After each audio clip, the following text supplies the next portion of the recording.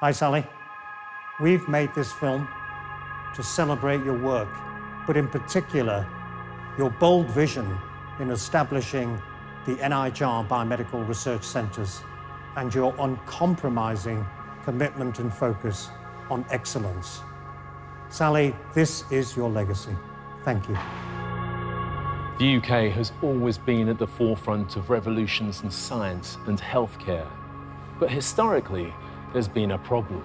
Discoveries took too long to translate into life-saving treatments. Scientists and clinicians tended to work in silos, and their patients very rarely saw any immediate benefit from their research. Before the NIHR and before the biomedical research centres, things were really difficult. People struggled, I think, to deliver high quality research. There was a real lack of infrastructure linking basic discovery science to experimental medicine, so across the university NHS interface. In 2007, Dame Sally Davies spearheaded a massive investment into translational research with a vision that put the needs of our patients at the heart of our research agenda. In so doing, she transformed the research landscape and the way we brought that benefit to our patients at the front lines of our NHS. I remember very clearly what it was like when the first BRCs were established. At first we were uncertain, but it soon became clear that this innovation would be absolutely transformational. What we're talking about here is scientific world-leading excellence aligned to an NHS hospital partner that was bold enough to consider taking on translation. All of a sudden, we had the funding to recruit the right people, to put in place the right facilities um, that allowed us to do what we've been struggling to do on a shoestring for, for several years. Today, we see that bold yet risky endeavour paying off. There are now 20 biomedical research centres across the country, bringing cutting-edge research more directly to the bedside than ever before, attracting global talent, transforming countless lives and enriching the local and the national economy. A new focus on agility and collaboration now means that discoveries have a chance to make it from the lab to the bedside in a matter of months. Here at Moorfields, we have several gene therapy and genetic therapy clinical trials. This was unheard of 10, 20 years ago. We now have a large spectrum of research going on in Manchester. We've also got the first NHS deployed proton beam therapy unit in the country. We have developed a rapid whole genome sequencing project for children who are severely ill in either the neonatal intensive care or paediatric intensive care. The multidisciplinary nature of the BRCs has also fostered a unique culture of collaboration, breaking down the barriers between discovery science and clinical practice. From the very beginning, the Intelligent Surgical Device Project uh, was funded by the Imperial BRC. We can tell about the aggressiveness of a tumor, what kind of uh, drugs it would be uh, sensitive to, so, so we can, in real time, contribute to surgical decision making. We are put together with our natural collaborators. For instance, how uh, our breast cancer project started, it was a surgical BRC team meeting. Immediately, breast surgeon said that, oh, we can do it. And uh, in three months uh, from that point, uh, we had our first uh, breast cancer case. Another benefit of this collaboration has been the establishing of several bioresources. These are sample banks and data sets that provide an invaluable resource for any number of research projects. BioAid is a collaboration between a number of BRCs. And it's essentially an altruistic bioresource for use by anybody who wants to do research on patients with suspected infection. We've established a mental health bioresource, recruited almost exclusively through social media, with over 20,000 samples waiting for DNA extraction. And we're starting to see additional investment. The cutting edge infrastructure has allowed many BRCs to spin off innovative companies, bringing additional revenue back into their research efforts and into the NHS. BRC has been instrumental in allowing us to develop really novel therapies for patients with rare disease. We are right at the forefront of gene therapy treatments and of new technologies such as uh, CRISPR technologies with gene editing to treat and, and we believe cure conditions such as childhood leukemia where other conventional treatments haven't worked.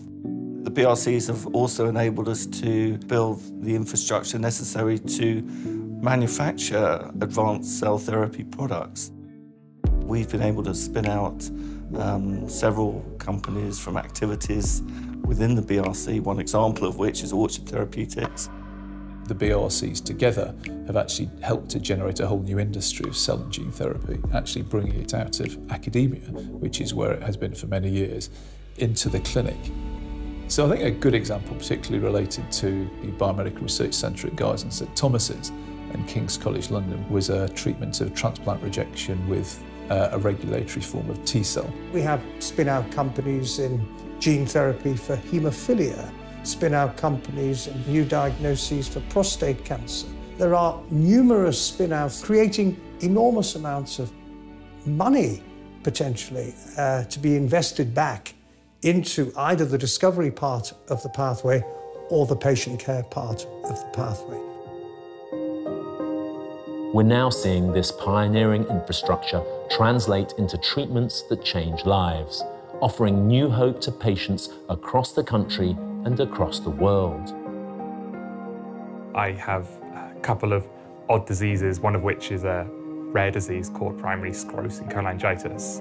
I'm pretty ill on a regular basis, but not quite ill enough to end up on the transplant list. And the lovely doctors here look after me and keep me going. We are trialling use of mesenchymal stromal cells in two disease cohorts, which is PSC and autoimmune hepatitis. As it stands, there is no cure for either of these conditions, and eventually patients do require liver transplant. I usually only have about three or four hours of usable energy a day, and I have to ration that very carefully. But instead, after I had the treatment, I was painting walls in my house. I was, I was going, I'm going to mow the lawn, I'm going to do this. And eventually that wore off over the next six to eight weeks. Um, and I, I think I'm back to where I was before, but hopeful that I can get more of this amazing new medication or maybe a larger dose that would last for longer. So he was the first um, in Merlin and therefore the first person to re receive these mesenchymal stromal cells in the whole of the West Midlands. So we're very proud of that achievement. If we can stop the fatigue happening that they get from the disease progression, I think that would have an incredible impact on their lives. It would really help. I got endless gratitude for them. Even if it comes to nothing, the fact that people are trying to make my life better means more than I can put into words. With training programs and opportunities for scientists, clinicians, technical and support staff, BRCs attracted world-class talent and were able to respond with agility and ambition to the changing needs of healthcare. In the last 10 years, I think uh, the NIHR has built, for example, fantastic training, building teams of people where we have access now to fellowships, um, and training programs. I did a PhD in the Cardiovascular Research Centre in Leicester um, and my um, area of interest was looking at uh, novel imaging techniques, specifically MRI scanning, in patients with aortic stenosis. I think the one area that Dame Sally in particular has made a, an absolutely amazing difference is to the careers of women, delivering real tangible difference into how we as women can progress in terms of our careers, but also giving us opportunities. I see the next generation of women coming through who can't remember what it used to be like, and I think their future is really bright. Cardiovascular sciences, where I work, has traditionally been regarded as a very male-dominated specialty. Athena Swan is important because it just brings the subject of gender equality right to the table and it just highlights it as an issue. The NIHR has linked it with its funding for the future, which I think is a really good idea. The NIHR research community now consists of a diverse and highly skilled workforce, ready to take on the challenges of the future. We do large pieces of work on antimicrobial resistance. It is at the moment dominated by the work on TB. And that's for a simple reason. It is now emerging as one of the dominant threats of antimicrobial resistance to global health. Pushing the agenda from the policy side has been critical, and the BRC and the NIHR has really enabled us to do some incredible work that is cross-cutting and multidisciplinary. Another example of the work we're doing in antimicrobial resistance is in the vaccines theme. There are many ways in which vaccines can actually be a critical tool in the antimicrobial resistance battle. We're working on technologies that we can use to support decision making about prescribing. This use of sensors and artificial intelligence will really give us an opportunity to inform how we can dose these drugs better. The translation of science into treatments and diagnosis is a very, very difficult process. It requires a lot of effort, uh, a lot of collaboration, a lot of working with industry and working with patients. We're at a very exciting point in medicine where advances in genomics, advanced therapies, data analytics are allowing us to do things in a very different way than we've done in the past. I was diagnosed with lymphoma about three, three and a half years ago. I've had four, four lots of chemo. Doctors couldn't do any more. I had only one choice, and that was to go on the CAR T cells. CAR T cell therapy has um, been one of the most important advances in the treatment of um, patients with um, lymphoma um, and also children and young adults with, with leukemia. And a significant proportion of these patients can now be cured when they wouldn't have been in the past. Martin was a standout individual in his field with a fantastic set of intellectual property, but also the infrastructure provided by the BRC was really fundamental to the investment that we made. You engineer the immune system to be able to recognize cancer cells for the first time. So these are for patients, for instance, who don't respond to conventional treatments such as chemotherapy and radiotherapy. We're able to offer them now, thankfully, this lifeline.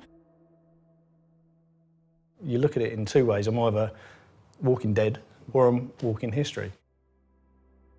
It's a very, very quick reaction, very, very quick, um, almost, almost dissipated within days. Mad to have something actually work and have a little bit of hope for the next, next few years. Would have been knocking on Evan's door, I suppose. I've got 10 years, 20 more years. Whoever knows now. From cancer treatments that use a patient's own immune system to attack their cancer cells, to fighting antimicrobial resistance and harvesting the potential of artificial intelligence, the biomedical research centres have changed the way we do research. It is the dream of every clinician scientist to see their work make a real difference in the real world. It is the hope of our patients that our science and our medicine will be there for them when the time comes. And that is what the biomedical research centres, in all their scale of ambition, are all about. The BRCs have provided a pathway from bench to bedside. They have brought patients into the centre of researchers and scientists' focus. Before there wasn't a lot of choice and now we're being able to go to families and say, these are all the options that are, that are open to you, whether it's gene therapy, bone marrow transplants, or other form of treatments.